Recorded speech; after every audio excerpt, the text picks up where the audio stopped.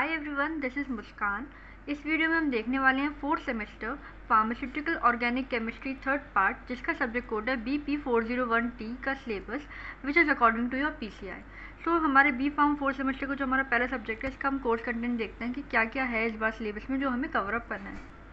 Unit one हमारी जो cover up कर रहे हैं, हम उसमें है स्टीरियो आइसोमेरिस और टू में हमारी जोमेट्रिकल आइसोमेरिस तो पहली दो यूनिट में हम आइसोमेरिस देखने वाले हैं।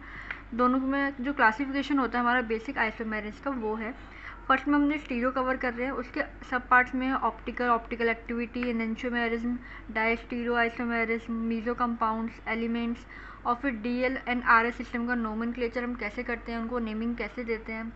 जो भी कायरल मॉलिक्यूल होती है, उनकी रिएक्शन देखेंगे। Racemic modification resolution of racemic mixture या उसे बनाते कैसे हैं, उन मिक्सचर का क्या यूजेज है हमारे एज अ ड्रग फॉर्म और इन सब के एग्जाम्पल्स भी हमें इन अ ड्रग फॉर्म में याद करनी पड़ेगी कि कौन सी ऐसी ड्रग है जिसका डी सिस्टम में नोमन होता है।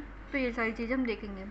देन यूनिट सेकंड में जोमेक्टिकल आइसोमेरिज में, उसमें जोमेक्टिकल आइसोमेरिज में आता है हमारा cis trans EZ system and syn anti system तो इन सब का नोमिन then method of determination of configuration of geometrical isomers.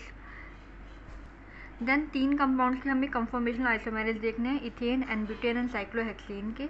फिर स्टीरो आइसोमेरिज हमें किसकी करनी है? बायोफिनाइल कंपाउंड जिसको हम एट्रो आइसोमेरिज्म भी बोलते हैं, और उनकी कंडीशन देखनी कि ऑप्टिकल एक्टिविटी की कैसी कंडीशंस होती है। Then stereospecific and stereoselective reaction हम देखेंगे।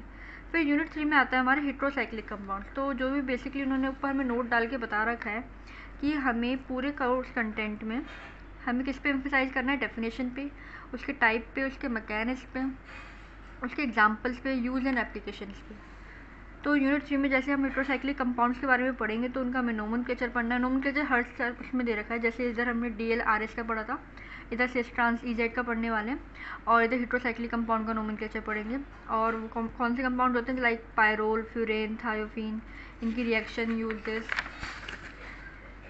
then relative ar aromaticity and uh, reactivity of pyrrol furan and thiophene तो ये सारी चीज़ें हैं देन यूनिट फोर में हमें किसका करना है हमें पायराजोल इमिडाइजोल ओजाजोल एंड थायोडाइजोजोल और कुछ भी, और भी अदर कंपाउंड हैं, उन सबकी हमें सिंथेसिस करनी है, कैसे हम प्रिपेयर करते हैं, उनकी केमिकल रिएक्शन क्या होती है, और फार्मास्यूटिकली या मेडिकली हम उसे हम कैसे यूज़ करते हैं, उन कंपाउंड्स की या उनके डेरिवेटिव्स को। तो बहुत सारे इन कंपाउंड्स के नेम दे रखे हैं तो जो भी कंपाउंड्स के नेम दे रखे हैं स्पेसिफिकली हमें उन्हीं को ही कवर अप करना है, कोई एक्स्ट्रा नहीं पढ़ना है।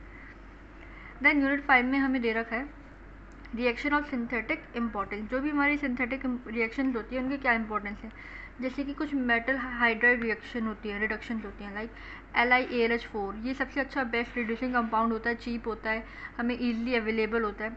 तो इससे हम ज़्यादातर रिडक्शन कराते हैं। Clemmensen reduction Birch reduction Wolff Kishner reduction ये भी हमारी, जो भी हमारी नेम रिएक्शन है, जो हमारी पॉपुलर रिडक्शन रिएक्शन है, उनके बारे में बता रखा है। एंड द लास्ट है हमारी, इसमें क्लेसन स्मिट कंडेंसेशन तो ये सारी हमारी जो भी रिएक्शन है, वो रिडक्शन के ऊपर बेस्ड है। तो यूनिट फाइव हम उस पर कवर कर। रहे और सबसे छोटे यूनिट है, हमारे यूनिट फाइव उसमें ज़्यादा कुछ नहीं है। So this is all about the pharmaceutical organic chemistry syllabus और ये सिलेबस की आपको नोट्स डिस्क्रिप्शन में मिल जाएगा। So you can easily download it और अगर आपको कोई भी प्रॉब्लम आती है तो मेरे को कमेंट सेक्शन में बताइएगा। Thanks for watching this video